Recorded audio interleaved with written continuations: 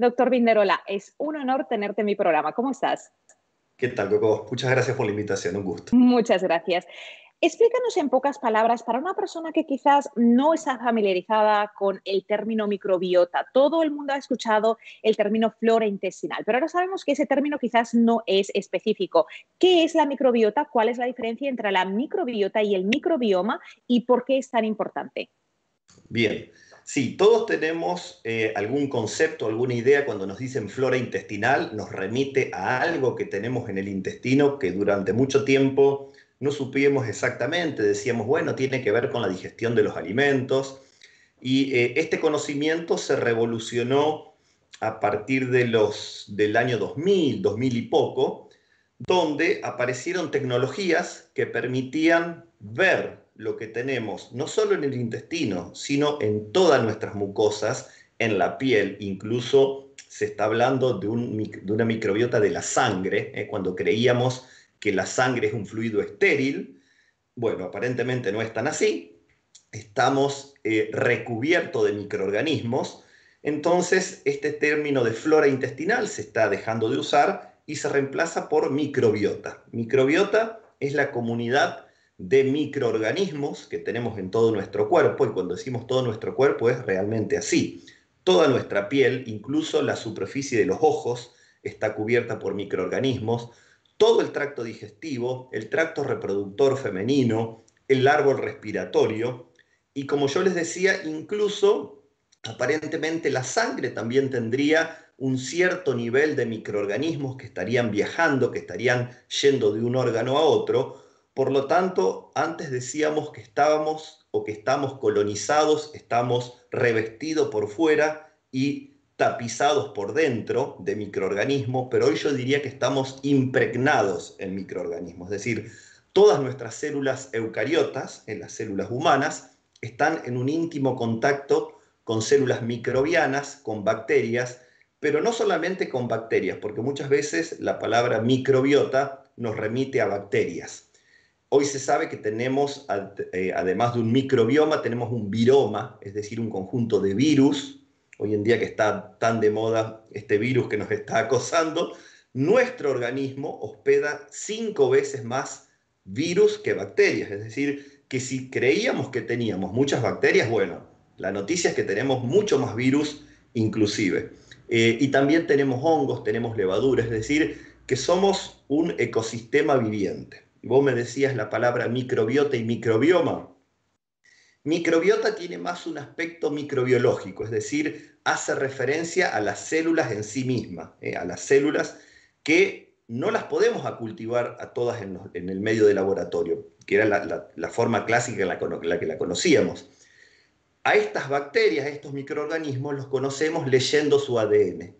Entonces, cuando hablamos de microbioma, eh, con la M, estamos hablando del paquete de genes, el conjunto de genes que integran al, microbiota. La microbiota es el sentido microbiológico, la célula en sí, y el microbioma son los genes, el material genético que posee ese conjunto de microorganismos. Que, para que uno, tenga una idea, nosotros como persona, como humanos, tenemos aproximadamente 22.000 genes. ¿eh? El proyecto humano, que, secuenció todo nuestro genoma, dice que como humanos tenemos 22.000, 23.000 genes. El microbioma tiene más de 3 millones de genes. Un número enorme, ¿eh? comparar 3 millones de genes contra 22.000. Es decir, el potencial genético que tiene nuestro microbioma es enorme y es todavía desconocido. Mencionado es el hecho de que ahora hay estudios que evidencian la existencia de esos microorganismos. Ah, yo a veces utilizo el ejemplo de un jardín y un jardín eh, puedes tenerlo, tienes eh, la tierra del jardín, pero luego tienes esa variante de plantas que, viven, pero si nosotros microscópicamente nos fuéramos a, la, a la tierra de ese jardín, ahora tenemos un ecosistema que vive perfectamente. ¿Qué es lo que ocurre, teniendo esa analogía en mente, cuando ese ecosistema en nuestro organismo pierde el equilibrio? Digamos, por ejemplo, estamos hablando de un hongo un hongo saludable como puede ser el hongo de la candida, que tiene un rol importante en nuestra salud, pero pierde eso, ese ecosistema. ¿Cuál es, qué, ¿Cuál es el impacto que tú crees que hace que muchos de esos organismos pierdan su habilidad de, eh, de vivir con nosotros y entre ellos sin crear reacciones? Bien, eh, es importante este concepto que nombrabas de diversidad. La diversidad que uno ve en una selva tropical o en un arrecife de coral, también la podemos asemejar a la diversidad que podemos tener en nuestro intestino. Cuando yo tengo diversidad de microorganismos, tengo diversidad de funciones, es decir, la función que necesitamos para vivir, funciones digestivas, funciones inmunológicas, funciones neurológicas, pueden ser cumplidas por distintos de estos microorganismos. Ahora, cuando estos microorganismos empiezan a desaparecer, cuando empieza a reducirse la diversidad, yo voy a empezar a perder funciones. Y cuando pierdo funciones empiezan a aparecer los problemas, las distintas enfermedades. Hay un denominador en común en lo que llamamos las enfermedades crónicas no transmisibles, que pueden ser diabetes, sobrepeso, obesidad, alergias alimentarias, el tipo que te imagines, incluso enfermedades cognitivas o enfermedades neurológicas. Todas estas enfermedades crónicas tienen el denominador en común de que hay pérdida de diversidad microbiana en el intestino. Es decir, nos quedamos con menos microorganismos y vamos perdiendo funciones. Y lo que puede pasar a la vez es que cuando se está perdiendo diversidad microbiana, esto le dé lugar a los que se llamamos patógenos oportunistas, como vos dijiste recién, la cándida, o uno que es peor, que es el Clostridium difficile, por ejemplo. Hay, hay casos de personas que están hospitalizadas durante mucho tiempo, que tienen diarreas crónicas, donde el intestino termina siendo dominado por un Clostridium difficile y tienen esta famosa diarrea asociada a Clostridium difficile. Ahí la diversidad se perdió completamente el Clostridium se hizo dominante y la opción que tienen estas personas, no sé si lo habrán, habrán hablado en alguna oportunidad, es lo que se llama el trasplante de microbiota fecal. Es decir, ese intestino que ya no tiene diversidad, la única solución que le queda es recibir un trasplante de microbiota, es decir, llegar con toda una microbiota nueva que se instale, que sea diversa y empezar a recuperar las funciones. El tema de la microbiota es fascinante. Eh, de todo lo que más me fascina es que ha creado un puente entre la medicina funcional y la medicina alopática, que siempre habían estado tan separadas y viéndolo desde el punto de vista médico y, con mis pacientes, viendo cómo nos hemos unido todos en esa, en esa base que es preventiva. Eh, parte de tu especialidad son los prebióticos y los probióticos. Antes de entrar en ese tema que es también muy interesante, háblame un poquito de ¿Qué es lo que hace que nosotros perdamos esa diversidad? Hemos hablado de la diversidad, hemos dicho que se pierde, pero ya pensando en, el paciente, el paciente lo que quiere saber es, ¿me duele la cabeza? ¿Por qué me duele la cabeza? ¿Soy estéril? ¿Por qué no puedo quedarme embarazada? Y tú has mencionado condiciones autoinmunes, has mencionado alergias, qué es lo que hace perdernos y cuáles son algunas de, las condiciones que quizás los pacientes o los que están viendo esta charla ahora mismo puedan decir, yo tengo que hablar con mi doctor para que haga further examination, para que vea qué más hay. Sí, antes de entrar eh, eh, en, estos factores que afectan a la microbiota y que hacen perder eh, diversidad, quiero retomar algo que me dijiste que me pareció muy importante, que es el abordaje holístico de la medicina. La medicina yo sin ser médico, eh, pero puedo percibir que se fue especializando tanto que cuando que se iban viendo las distintas partes del cuerpo como cosas únicas, como cosas independientes que no estaban relacionadas. Entonces, si yo tenía un dolor de cabeza, el médico me iba a medicar para ese dolor de cabeza, o si tenía un problema en la piel, me iba a medicar para la piel. Y hoy tal vez si yo llego con un dolor de cabeza o llego con un eczema, me van a preguntar qué como y me van a tratar el intestino para tratar de solucionar la cabeza o la piel. Es decir, que todos los médicos, eh, desde su especialidad, están tratando de hacer un abordaje más holístico. Como uno dice, bueno, no me voy a concentrar en el órgano del cual soy especialista, sino que voy a ver un poquitito más allá. Y esto ha conectado a todas las disciplinas. Esto yo creo que es la primera cosa positiva entendernos como sistemas que estamos totalmente conectados. Y si algo hacemos todos los días es comer,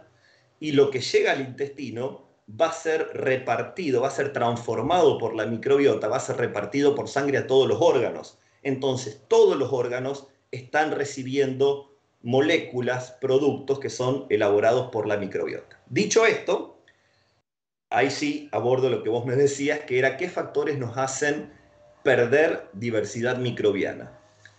Estos factores empiezan incluso antes de que nacemos, ¿eh? porque eh, em, yo siempre digo, cuando el espermatozoide va a encontrar al óvulo, antes encontró a bacterias. Ese espermatozoide nadó por todo un mar microbiano del tracto reproductor femenino, desde que asciende desde la vagina hasta el lugar donde eh, encuentra el óvulo, antes se encontró con bacterias. Entonces, probablemente somos la consecuencia de lo que ese espermatozoide encontró en su camino buscando al óvulo. Por lo tanto, como decías, el éxito de la fertilidad hoy también se está empezando a mirar desde la microbiota del tracto reproductor femenino. ¿Cómo tiene que ser esa microbiota?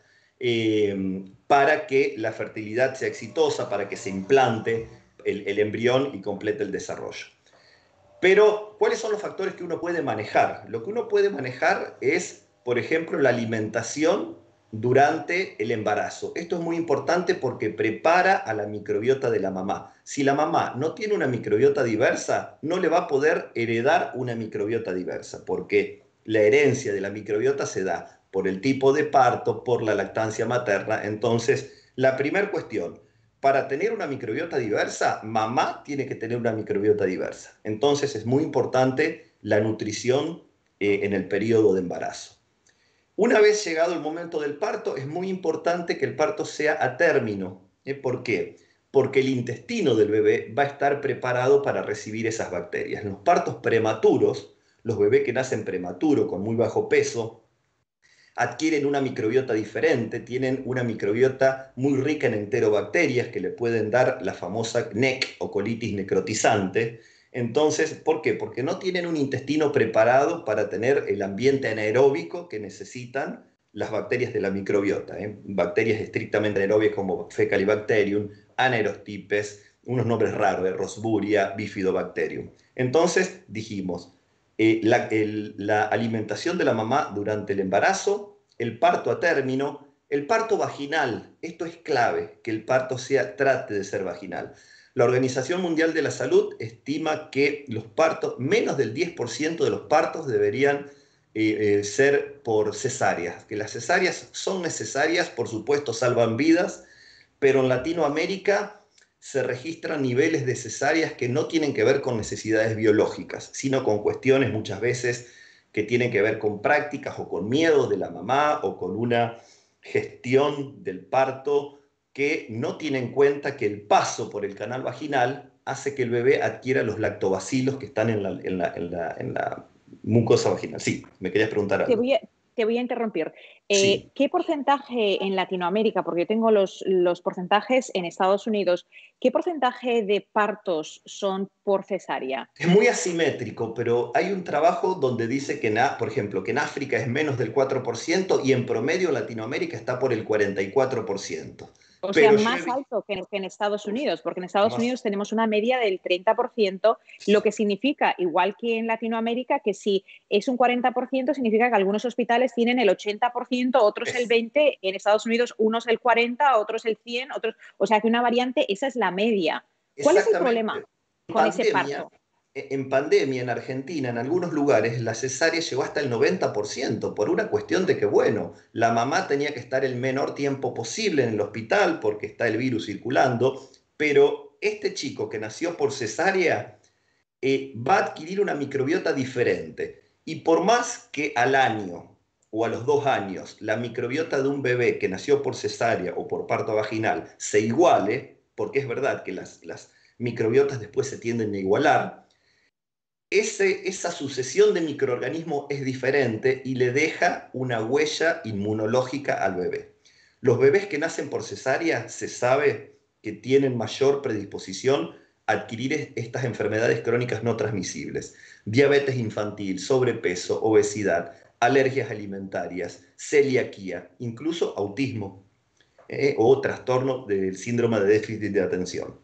Yo creo que el parto vaginal y la lactancia materna es el mejor regalo que una mamá le pueda hacer al bebé, porque le está regalando sus mejores microorganismos. Entonces, tratar de tener todas las acciones que lleven a un parto a término vaginal y una lactancia materna abundante, ¿eh? mínimo los seis meses exclusiva que pide la Organización Mundial de la Salud, y si después la podemos estirar hasta los dos años, es mejor, porque ahí le va a transferir todos los microorganismos. Entonces, un bebé que nació prematuro por cesárea, que tomó antibióticos, muchas veces la cesárea está asociada a los antibióticos, y que toma poca leche materna, este bebé lamentablemente tiene todas las condiciones para que la probabilidad de que aparezcan enfermedades crónicas en la infancia o en la edad adulta se den. Entonces, de los antibióticos no hablamos, pero es, es, otro de los factores que hacen perder diversidad, no solo en la infancia, sino durante toda nuestra vida.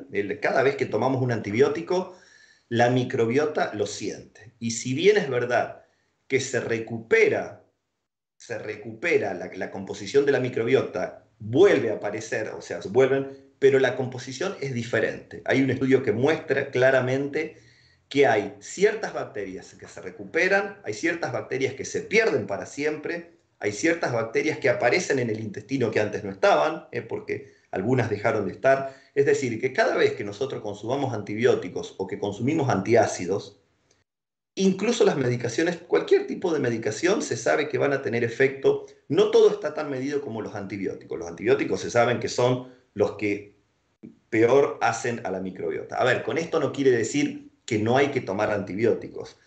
Los antibióticos son necesarios cuando hay una infección, cuando sabemos que antibióticos, pero cuando yo a veces yo veo personas que se resfrían y por las dudas toman un antibiótico, eso es lo que no hay que hacer. Voy a remitir a lo que estabas ah, explicando sobre la microbiota, el parto, el amamantamiento. Eh, se, han, se ha encontrado, se pensaba que la leche de madre era estéril, estoy segura que tú estás familiarizado con el hecho de que ahora se sabe que no es estéril, que hay una microbiota abundante, de ahí que siempre, eh, y como tú estabas diciendo ahora, enfatizar, y a ver, yo soy madre de cuatro hijos, los he amamantado a todos y es agotador, o sea, como mujer, como madre, es, agotador eh, tener siempre que andar hablando claro con el seno afuera, que si dónde vas a darle de mamar, es, no es fácil. O sea, yo tengo un sentimiento muy profundo como profesional y como madre del trabajo que es, pero yo puedo decir mm, mi obsesión por la investigación sobre el papel que la microbiota juega en la salud, no solo de los bebés, sino de, de la humanidad en general, me llevó a la conclusión, antes de tener a mi hijo mayor que tiene ya casi 18 años, a entender la importancia de darle el pecho. El resultado es, ninguno de mis cuatro hijos nunca ha necesitado un antibiótico, nunca. A ver, llevamos un estilo de vida saludable, pero significa eso para los videntes que están con nosotros eh, que no deberían utilizar un antibiótico. Yo creo que ahí me remito a lo que tú dijiste. Hay veces que hay una infección y que necesitas un antibiótico y va a ser imprescindible, pero es, es necesario, tú crees, tanto como se receta, porque en Estados Unidos solo puede conseguir un antibiótico con receta. En, Latinoamérica no sé. En Latinoamérica eh, uno va a una farmacia de confianza, venden prácticamente lo que quiera. Yo creo que eso debería cambiar. Y aprovecho lo que dijiste de la leche materna, es verdad. Hasta, te cuento, cuento una pequeña anécdota. En, en el año 2003 se publican simultáneamente dos trabajos, uno publicado en Finlandia y otro en España, donde reportaban que la leche materna podía tener lactobacilos. Yo tuve la oportunidad de conocer a, la, autora española de, este trabajo, Rocío Martín. Eh, en su época ella trabajaba en la Universidad Complutense con Juan Miguel Rodríguez. La conocí en un congreso en Singapur y me comentó lo que les costó a ellos publicar que la leche materna tenía lactobacilos. Le decían, no señores, esto es imposible. Eso vino a romper un paradigma porque se creía que la leche materna era estéril y en el caso de que había microorganismos, eran microorganismos que causaban infecciones como mastitis, estafilococos, propionibacterias, pero hasta el año 2003, no estamos hablando ni siquiera de hace 20 años atrás, 18 años, lo que tiene tu hijo, recién en el año 2003 se conoció que tenía, que podrían tener eh, microorganismos. Hoy se sabe, hoy nadie duda que la leche materna es la principal fuente de transmisión de microorganismos del intestino de la mamá hacia el intestino del bebé y se hace a través de la leche materna. Por eso la importancia de la lactancia, por eso eh, yo creo que es algo que si las mamás lo conocen harían el esfuerzo, porque, a ver, por supuesto yo no, no, he dado de mamar, pero sé que es un esfuerzo, sé que muchas veces duele, que requiere tiempo, que el bebé toma cuando quiere, pero pensar que eso le va a dar calidad de vida al bebé, yo creo que eso puede darle, eh, em, es un argumento poderoso. Y te voy a contar algo que pasa en los países nórdicos. Suecia tiene calculado que el, círculo virtuoso que genera la lactancia materna, ellos han medido que las mamás, ellos invierten recursos en que la mamá le dé la teta al bebé, le generan eh, grandes licencias a la mamá, al papá, para que se puedan dedicar. Esos bebés eh, alimentados con leche materna requieren menos intervenciones hospitalarias. Son bebés que se enferman menos, como le ha pasado a tu hijo. Eso hace que el sistema de salud público se ahorre una gran cantidad de dinero en, en salud infantil, porque los bebés están sanos, pero a la vez esos chicos de adultos tienen mayor coeficiente intelectual, porque la lactancia materna también tiene que ver con el desarrollo cognitivo y ahí también está implicada la microbiota. Estos chicos con mayor coeficiente intelectual son más inteligentes, generan mayor eh, recursos para el Producto Bruto Interno del país, para el PBI, y hacen que el país sea más rico y hace que puedan seguir invirtiendo en lactancia materna. Entonces, fíjate cómo es todo un círculo virtuoso promover la lactancia materna, chicos más sanos, hospitales que gastan menos, chicos más inteligentes, adultos que producen más, un país más rico. Es decir, les cierra por todos lados. Lamentablemente en, nuestra cultura, tanto si es anglosajona como si es ah, latina, son muy pocos los países individualizados que realmente están mirando long term, o sea, qué es lo que va a ocurrir a largo plazo. Pero como padres, algo que yo siempre digo y que estoy segura que va a estar de acuerdo conmigo, siempre queremos lo mejor para nuestros hijos. Es más, si un papá o una mamá que nos está viendo no tuvo la oportunidad de tener una educación que le, le garantice un trabajo estable, ese papá, esa mamá van a, van, a, van a decirle a su hijo, no, tú tienes que estudiar, tienes que esforzarte, se van a endeutar los padres para que los hijos tengan educación. Pero yo siempre digo, si tú tienes un hijo que lograste que haga una carrera universitaria, que tenga un trabajo estable, es abogado, es arquitecto, es médico, pero no tiene salud y él está enfermo, ¿qué es lo que tiene? Tu hijo, tu hija no tienen nada porque llegan a, a, los 40 años y están enfermos, tienen condiciones autoinmunes. Quiero regresar al tema de, las condiciones autoinmunes, del tema de la microbiota, algo que de lo que se está hablando, yo creo no lo suficiente porque no hay suficiente investigación, pero ya se están abriendo las puertas más, es condiciones como IBS, Irritable Bowel Syndrome, en español sería el síndrome de intestino, irritable, síndrome de intestino irritable, y la relación que se ha encontrado con SIBO, Small Intestinal Bacterial Overgrowth, o sea, esa migración de bacterias oportunistas que de algún modo, no, en, lugar de estar en el colon, ahora están en el duodeno generalmente y causan problemas. Explícame un poco qué, qué, es lo que tú has encontrado eh, o has investigado sobre qué es SIBO, o sea, qué bacterias son las que se quedan ahí, porque lo interesante de SIBO es que no causa, no causa SIBO, las bacterias en sí, un proceso inmunológico, pero el resultado es que sí pueden causar un problema inmunológico por los problemas que causan de, irritabilidad de la mucosa. Explícanos un poquito qué es, qué, es lo que has investigado. Exactamente, el, el, SIBO es cuando las bacterias que están, como uno podría decir, río abajo, es decir, están en el intestino grueso, en el colon, encuentran las condiciones para crecer río arriba, o en el intestino delgado. Entonces ahí empieza a haber una fermentación que no debería tener lugar, por lo tanto, bueno, esto se detecta con el test del aire expirado, es decir, las personas empiezan a despedir hidrógeno antes de tiempo, antes de lo esperado, cuando se les da un sustrato, y esto empieza a generar malestar. Eh, una de las causas que se ha eh, encontrado del, del es el abuso de los antiácidos, de los famosos antiácidos, de los homeoprazoles o las pantoprazoles, esta familia de antiácidos que muchas personas dicen, uy, bueno, hoy voy a comer un poco de más, por las dudas me, me tomo un antiácido. O les dieron un antiácido durante un tiempo y después, como son de venta libre, uno lo sigue tomando. ¿Y qué es lo que pasa? El intestino tiene un pH, tiene una acidez determinada. El estómago es muy ácido, cuando pasamos a intestino delgado ya se va neutralizando y cuando llegamos al colon tiene un, pH mucho más neutro. Cuando yo tomo un antiácido, lo que me hace es hacerme un corrimiento de todo este, este, este gradiente de pH, este gradiente de acidez. Entonces las bacterias que están en el colon encuentran en el intestino delgado la posibilidad de crecer y se da este crecimiento que no es esperable, que no es común y se generan todo este, este, síntoma. por supuesto los antiácidos no son la única causa de SIBO, probablemente un inadecuado eh, movimiento intestinal, porque el peristaltismo, que se llama este movimiento natural, hace que el flujo de los alimentos sea de intestino delgado a intestino grueso. Muchas veces esta motilidad está restringida y hace que eh, haya como un reflujo, haya, como una vuelta. ¿eh? Entonces las causas del SIBO son, pueden ser múltiples eh, pero bueno, esencialmente es esto, que tenemos bacterias que están creciendo en el intestino delgado cuando naturalmente deberían estar en el intestino grueso. Eh, bueno, y los, sé que es un problema recurrente, que hay personas que lo solucionan con un antibiótico, eh, se les da un antibiótico que no se absorbe, que barre a los microorganismos, pero también, como todos sabemos, los antibióticos eh, terminan también eliminando microbiota que consideramos que, sabemos que es necesaria. No hay antibióticos específicos.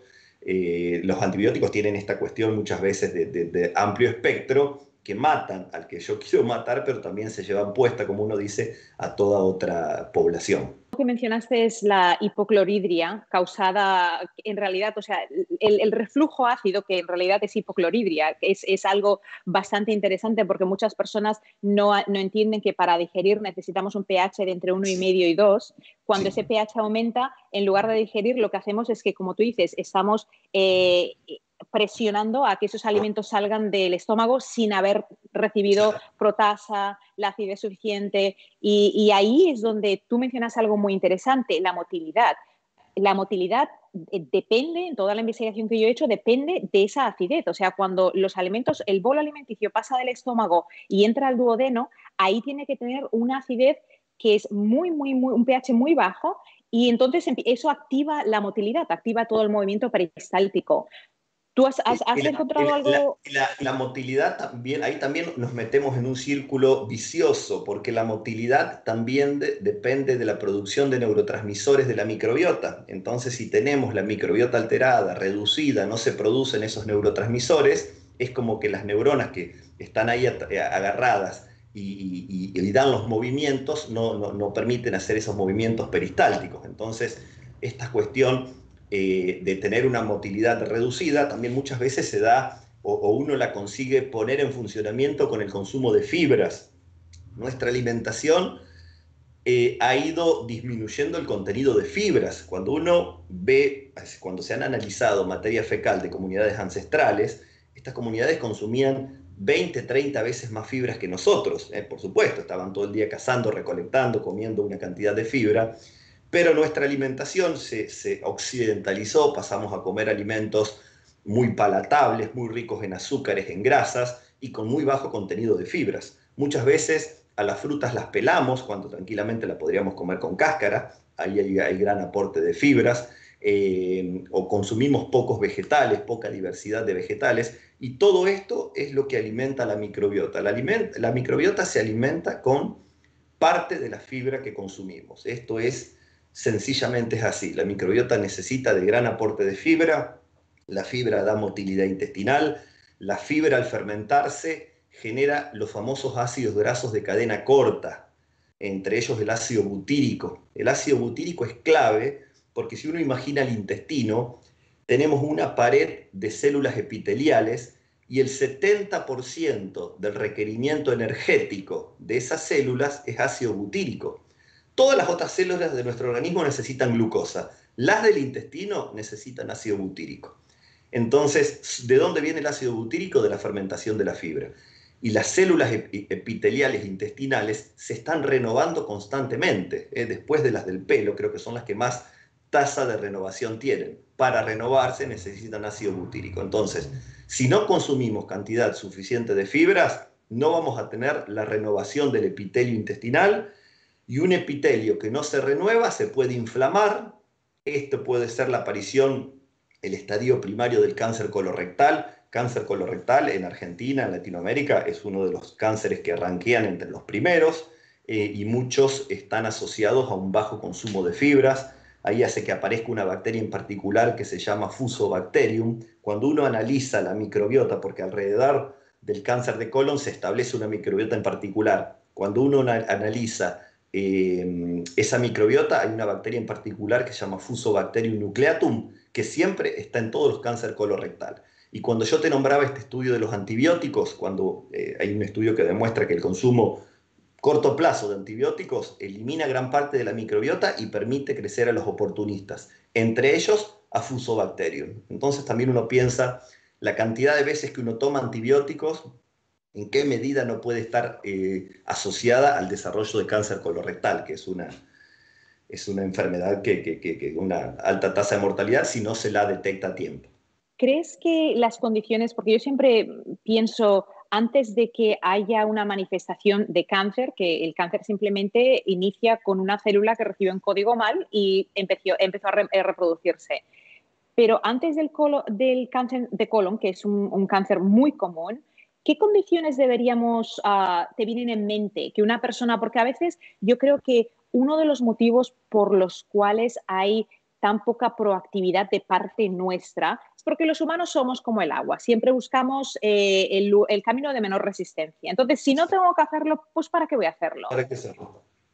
Pero la, otra, la otra pesa de la balanza es que, bueno, si nosotros no empezamos a hacer ese cambio, ahora vas a ver ciertas condiciones que se empiezan a manifestar. ¿Cuáles serían algunas de las condiciones? a mí me vienen a la mente unas cuantas, pero dime, ¿Qué condiciones rectales o simplemente intestinales se vienen a la mente que serían manifestaciones previas que si no se toman a tiempo podrían en años manifestarse en un cáncer? El 31 de marzo fue el Día Mundial de la Concientización del Cáncer Colorectal. Y ahí hemos hecho un vivo de Instagram con un eh, especialista en cáncer colorectal, el doctor Lisandro Pereira, de aquí de Argentina, que él desarrolló, es muy interesante esto si lo pueden ver, él desarrolló una app, una aplicación que se llama Captiva, con Y, Captiva, que la pueden descargar gratuitamente todos los médicos clínicos generalistas, y esa aplicación guía al médico en detectar factores de riesgos de cáncer colorectal. por lo que yo tengo entendido, el más clásico es la aparición de un pólipo. Estos famosos pólipos que después uno se saca y no pasa nada. Bueno, atención, 7, 8, 9, 10 años después de la aparición de los primeros pólipos, puede aparecer el cáncer colorectal. Combinado si uno tiene antecedentes familiares, si tienes condiciones de riesgo, si fuma. Eh, es decir, eh, hay ciertas cosas que nos tienen que llamar la atención, el tipo de alimentación rica. A ver, es verdad que somos omnívoros y que comemos carne y que nos gusta comer la carne, sobre todo a los argentinos. Ahora, el exceso de proteínas, el exceso de proteínas en general, el exceso de carne, también es un factor de riesgo para el cáncer colorectal. Entonces, a ver, yo siempre digo, yo voy a seguir comiendo el asado, pero tal vez lo que tengo que eh, mejorar es comerlo con más ensalada, es decir, con fibras que generen ácido butírico que sabemos que es antiinflamatorio. Pero mm, como mm, si, si les interesa a los médicos que pueden estar mirando, eh, pueden googlear, pueden entrar en Instagram, Captiva con Y, es una aplicación gratuita desarrollado por gastroenterólogos, avalado por sociedades científicas que tienen que ver con la gastroenterología, que incluso van a desarrollar una aplicación para personas sin formación en medicina, para cualquier persona que puede ir completando un cuestionario y le dice, bueno, por sus condiciones de vida, por su edad, por sus antecedentes, usted se debería hacer una colonoscopía a tal edad, ¿eh? no esperar después de los 45, 50 años como para empezar a mirar el intestino y ver estos pólipos que si uno no los, no los, aborda pueden ser eh, el origen de un cáncer colorectal. Yo los invito Cuando hablas de pólipos, estamos hablando de divertículos, que la gente los conoce como divertículos. Eh, háblame un poco de la diverticulitis, que es muy común en personas que han desarrollado cáncer. Y otra pregunta que te quiero hacer es, ¿Qué hay en esos pólipos? Porque a veces no, visualizamos, tenemos esos pólipos, esos crecimientos, son como unos saquitos en el colon. ¿Qué hay en esos pólipos? Número uno. Y número dos, la segunda parte sería, ¿hay manera de que una persona sin necesidad de hacerse un examen diga, bueno, yo parece que tengo ese cuadro sintomatológico, ¿cuáles son algunas de las cosas que podríamos hacer antes de necesitar esa extirpación, porque la extirpación pues también tiene su lado patológico de que se extirpan, pero el colon no se queda igual. ¿Qué, ¿Cuál es tu, opinión? Mira, eso es más un tema de gastroenterología del tratamiento. Ahí la verdad que no, no, no, no estoy capacitado como para decirte qué uno puede hacer o qué es lo que tienen, si hay alguna microbiota que se haya estudiado de los pólipos.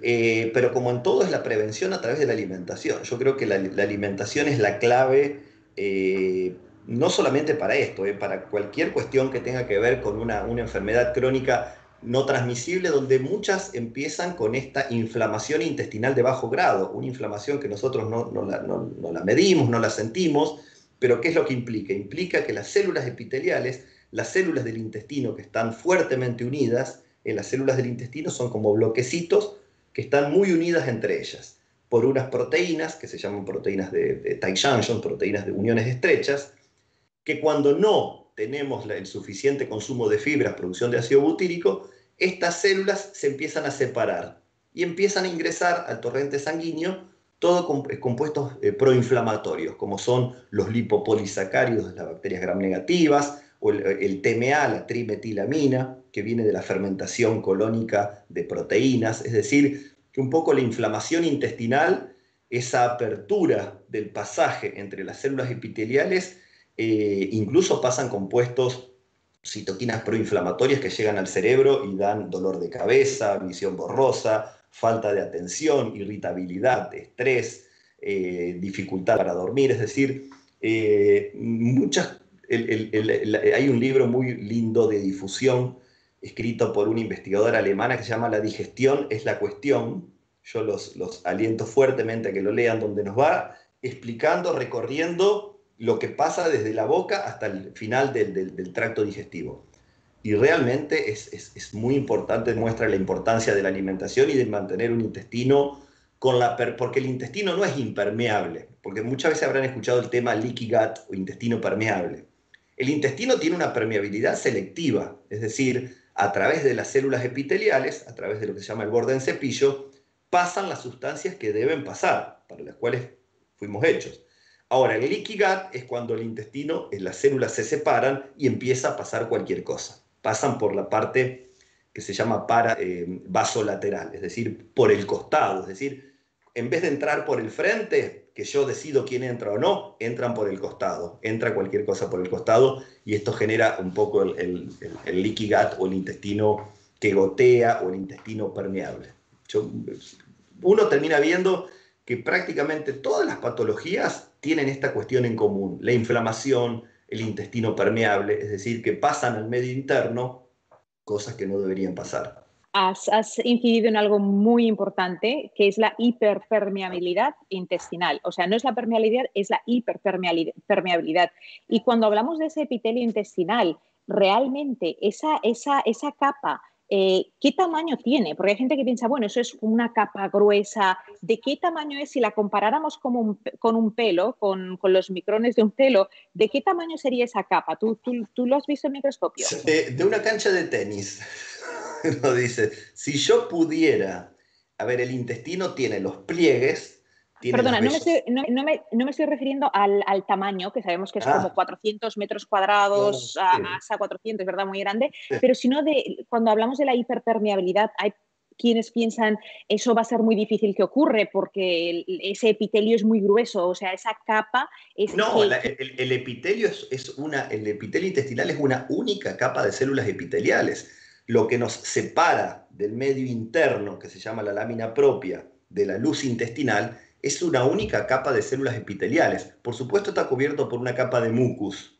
Ese, mucus, eh, producido por unas células especializadas llamadas células goblet, nos, da una protección extra, nos separa. Yo tengo la capa epitelial, que es una única capa, y el mucus.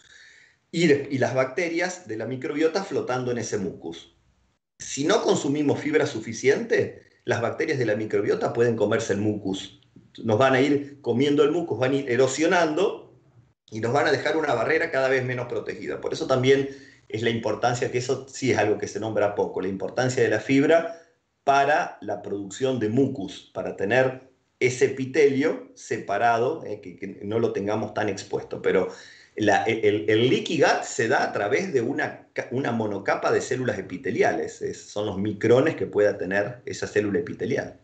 Sí, algunos expertos dicen que es una décima parte de un pelo, que ese es el tamaño. Por eso es, tan importante. Tuve la oportunidad recientemente de entrevistar al doctor Robert Lasty, que autor del libro Metabolical. Él es, ah, es pediatra de la Universidad de San Francisco. Y una de las cosas que él mencionaba es exactamente lo que tú estás diciendo. Es tener, número uno, diversidad y comer comida. O sea, eh, nos hemos acostumbrado a alimentarnos de cosas empaquetadas y eso no es comida. Nuestra microbiota, todos esos microorganismos no reconocen cuando nosotros estamos aportando algo que realmente ellos, eh, si tuvieran un escáner, a veces utilizo este ejemplo, piensa en la microbiota como cuando tú vas a la tienda y escaneas. Si en el, en el, en el sistema de la tienda ese producto que se está escaneando no tiene nada registrado, no, no vas a poder pagar porque no está registrado.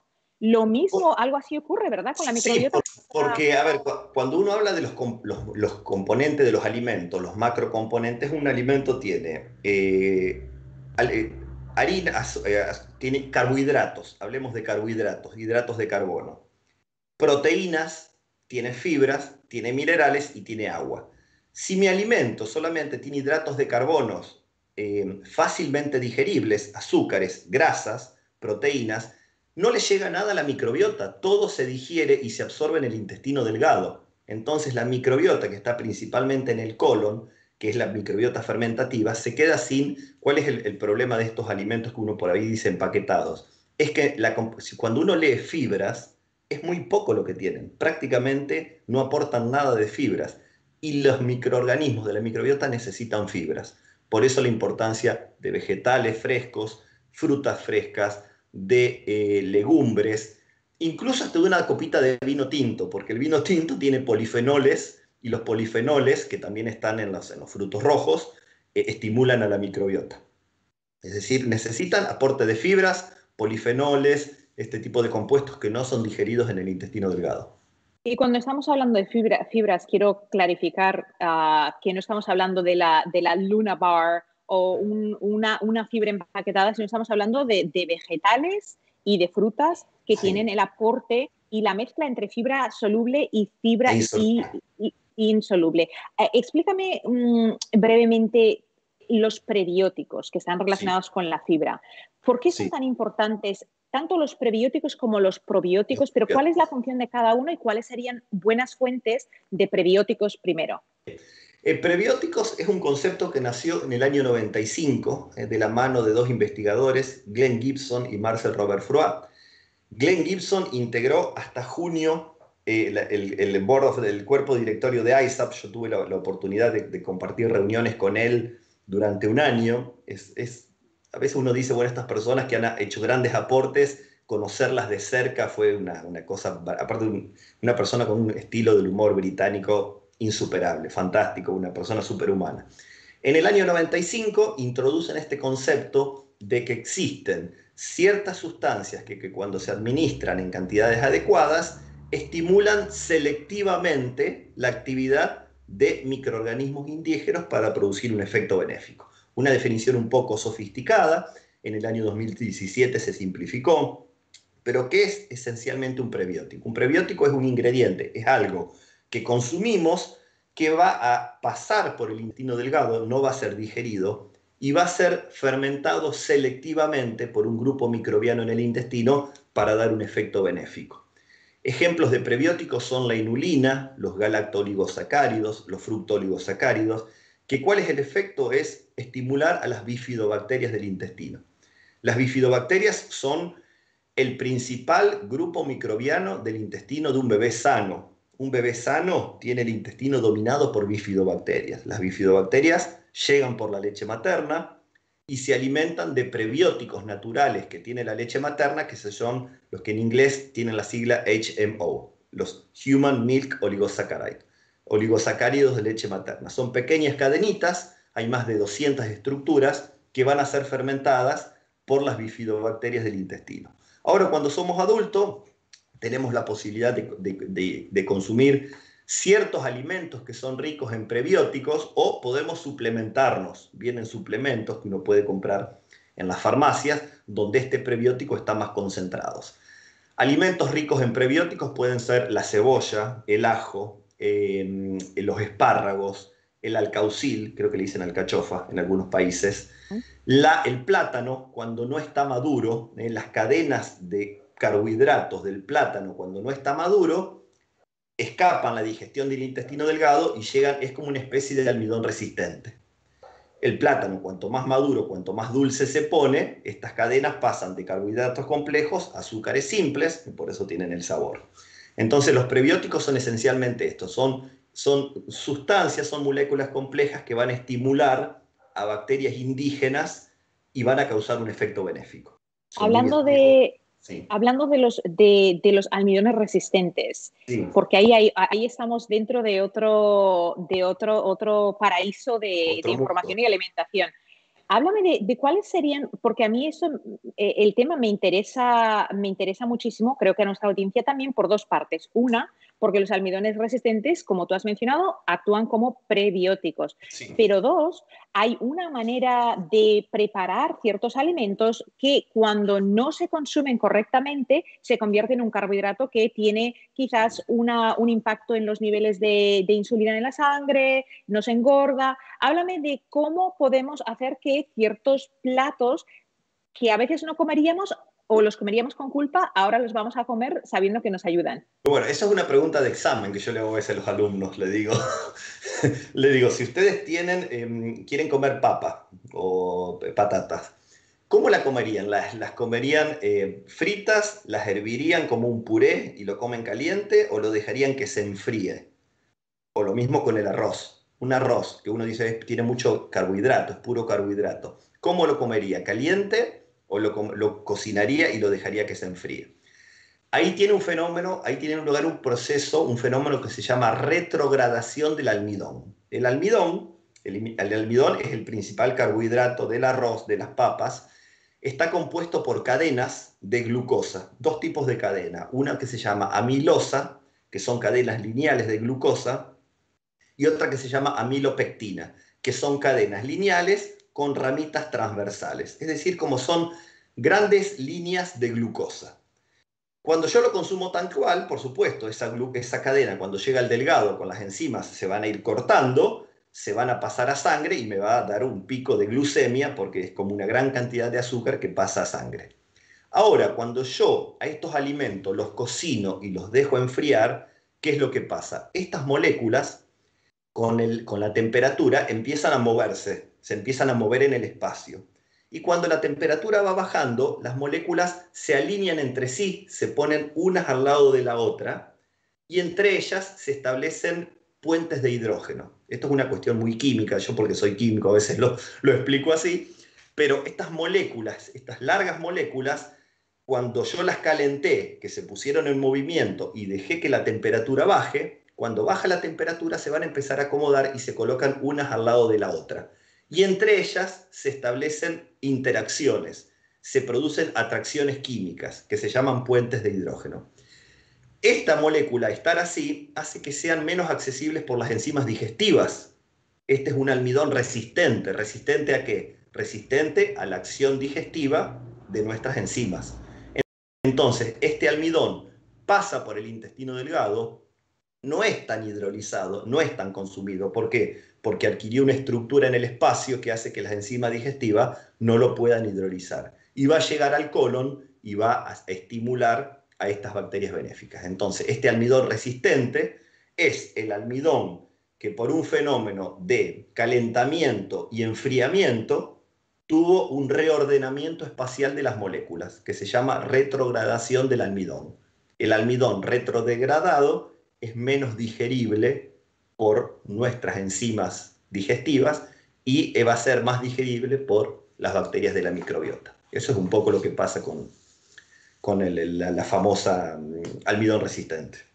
Y ahí, mm, para saber si podemos consumir esos alimentos guilt-free, porque tú sabes, a veces las personas que llevamos un estilo de vida y la mayoría de personas que siguen ese canal es porque quieren estar saludables y siempre hay ese conteo de cuál es la, carta, la carga glucémica eh, no el índice, sino la carga. Eh, ¿Has podido examinar algo sobre, por ejemplo, las patatas o papas, el arroz, una vez lo hemos convertido en, esa, en ese almidón resistente? Es buena pregunta, no, no, lo, he visto, debe, debe, ser una información que está disponible, pero yo siempre les digo, eh, si uno va, que el estrés, que la preocupación no nos gane porque el estrés también impacta en la microbiota. Entonces, este estrés, por qué lo que estamos comiendo, cuánto va a impactar en el índice de esto, si tiene antibióticos, si tiene contaminante ambiental, nos genera un tipo de estrés de cosas que no podemos controlar. O sea, nosotros lo que sabemos es qué podemos hacer para tener una buena microbiota. Después hay factores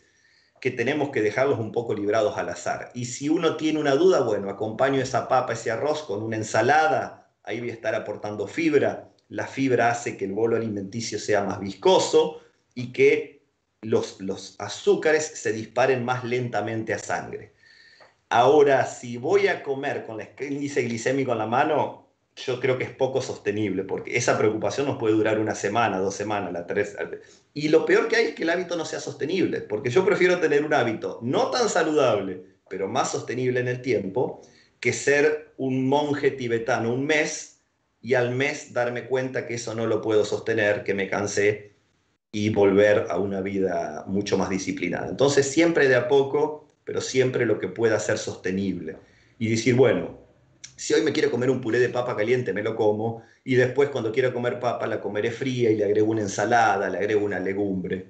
Eh, pero si no es muy difícil, es muy estresante, es muy difícil y muchas veces yo creo que tenemos una ilusión de, que podemos controlar uh, y, después ni sabemos el aire que respiramos, que es lo que entiende. y nadie está tan preocupado por el aire que respiramos. Parte del eslogan de nuestro canal, no sé si estás familiarizado con las redes uh, nuestras de Instagram, de, Facebook, es ser real, no seas ideal. Y ahí es donde cae exactamente, lo que estás mencionando. Eh, algo a lo que yo animo es, y no sé cómo sería el término en español, pero, pero en inglés le decimos splurge, de cuando en cuando tomar decisiones conscientes donde es muy importante, en mi opinión, y me imagino que la tuya también, tener abundancia de conocimiento, saber, el saber, porque cuando no sabemos lo que no sabemos, pues ahí es cuando nos dicen, tómate un antibiótico o que me lo tomo, o quiero un antibiótico porque mi abuela se los tomaba.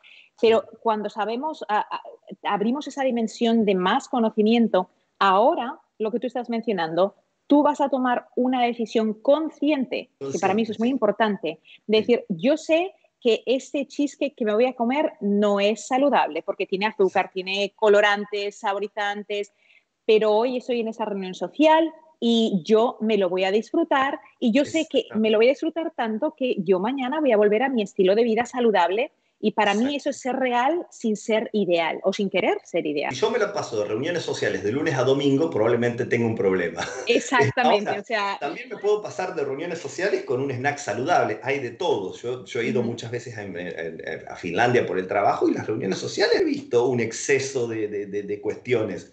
Pero está bien, nosotros los latinos tenemos más la pizza, la hamburguesa, y, si yo voy a salir un viernes a la noche y voy a ver qué estar comiendo, me estoy limitando y no me integro a que, bueno, pedimos pizza para todos, listo, pedimos pizza para todos. Después tengo de lunes a viernes para hacer ayuno intermitente, si quiero hacer reposo digestivo, aumentar el consumo de fibra, pero como vos decís, ser real es mucho más fácil que, que este ideal. Todos sabemos cuál es el ideal, difícilmente lo podamos sostener en el tiempo.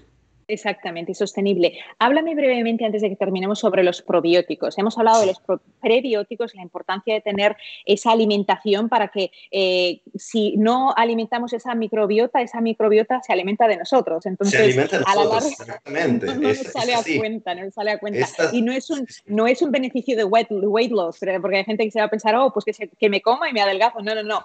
no, no, no va a dar más problemas que cualquier cosa porque genera una inflamación, que no tengamos mucus intestinal. El, concepto de, prebióticos surgió un poco después, surgió en el año 2002.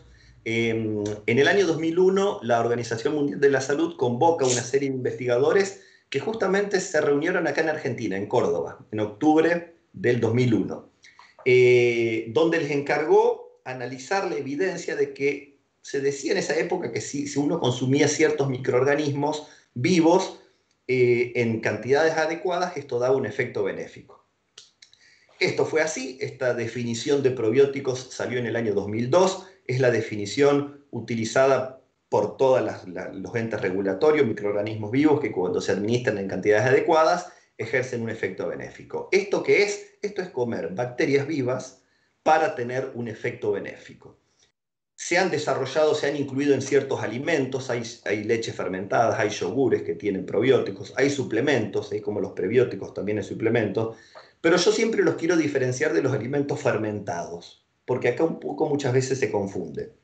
Cuando hablamos de kefir, de chucrut, de kimchi, de kombucha, estos son alimentos que nos proveen microorganismos vivos que tienen potenciales efectos benéficos sobre la digestión, sobre el sistema inmunológico, pero son comunidades eh, indefinidas. Yo no sé qué microorganismos tengo. Entonces yo no puedo saber exactamente cuál es el efecto.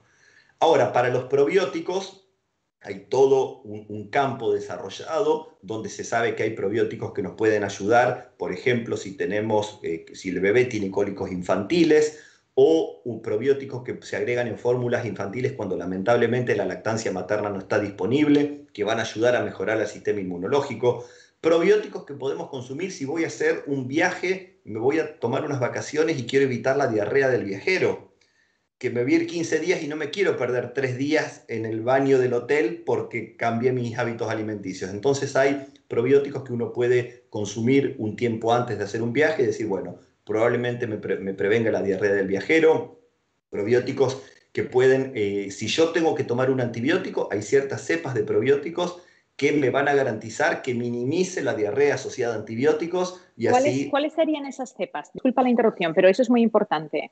Eh, eh, no, me gusta nombrar nombres comerciales. No, pero eh, estamos hablando de un lactobacillus, por ejemplo. ¿Qué, tipo de cepas estaríamos buscando? Por ejemplo, hay ciertos lactobacillus rhamnosus que tienen, no todos los lactobacillus rhamnosus, pero hay ciertos lactobacillus rhamnosus que tienen hasta nivel de metaanálisis en su efectividad para prevenir la diarrea asociada a antibióticos. Lactobacillus reuteris para cólicos infantiles. Tampoco podemos relacionar una especie con un efecto hay diversas especies que dan el mismo efecto, pero probablemente Lactobacillus rhamnosus, Lactobacillus acidophilus, Lactobacillus reuteri, Bifidobacterium lactis sean las especies más estudiadas como probióticos, las especies que más uno encuentra en productos en el mercado. ¿Cuál es tu opinión sobre los, ah, los probióticos que son bacilios? O sea, estamos hablando del bacillus coagulans. Sí, bacilios, los, los, esporulados. A ver, eh, eh, eh, ecológicamente, si uno lo ve desde el punto de vista ecológico, Bacillus no es un microorganismo dominante en el intestino como es un lactobacilo o una bifidobacteria.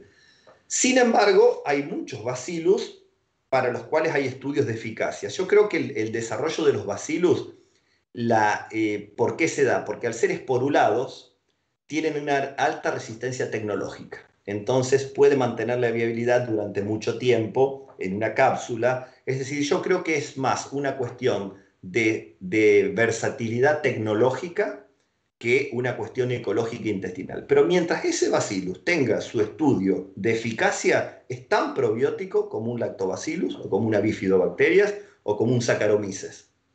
Pero tienen por ahí... El saccharomyces de por sí se considera dentro de, de ese grupo de no lactobacillus, ¿verdad? Sí, claro, es una levadura. los Saccharomyces hay prácticamente una especie que se desarrolló como probiótico, que es Saccharomyces boulardii. Saccharomyces boulardii. Es más, hay una Escherichia coli, que nosotros creemos la Escherichia coli siempre un patógeno, hay una cepa de Escherichia coli eh, probiótica que se desarrolló en los años 70, no apareció nunca más en el mercado una que se llama Escherichia coli nisle, pero bueno, los probióticos no son solamente lactobacillus, bifidobacterias, bacillus y Saccharomyces hay una Escherichia coli que también es probiótica. Sí, y algo que es interesante que tú mencionabas es la estabilidad. Y, eso, o sea, yo en mi trabajo de laboratorio que me dedico realmente a, formular probióticos y a manufacturarlos, en examen el probiótico es tan sensible al oxígeno, o sea, la sensibilidad no es necesariamente a la humedad, sino al oxígeno, que incluso la maquinaria que nosotros utilizamos para rellenar esas cápsulas cambiamos una maquinaria a una maquinaria específica para todo lo que son lactobacilios porque vimos que si había fricción que creaba oxigenación, al terminar eh, el, envasado, no tenían, o sea, no duraban. Sí, no duraban nada. Estos, estos eh, probióticos se generan por un proceso que se llama liofilización o, freeze drying. Liofilización es un proceso donde las células se congelan y a muy baja presión el agua se sublima, pasa del estado sólido al gas. Cuando esas, las membranas plasmáticas de la célula queda expuesta al oxígeno, la membrana se puede oxidar y esa bacteria se muere. Entonces es muy importante envasarlos en lo que se llama atmósfera modificada una atmósfera que no tenga oxígeno o que, tenga gases inertes como el nitrógeno, el dióxido de carbono. Pero sí, es una cuestión clave para la sobrevida la atmósfera a la cual está expuesta el microorganismo así liofilizado.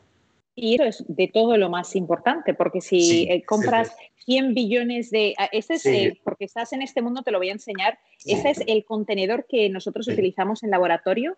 Es un contenedor que es absorbente de oxígeno en particular. O sea, además de tener este tipo de, absorbedor de oxígeno, las paredes, cuando eso está sellado, quedan tan...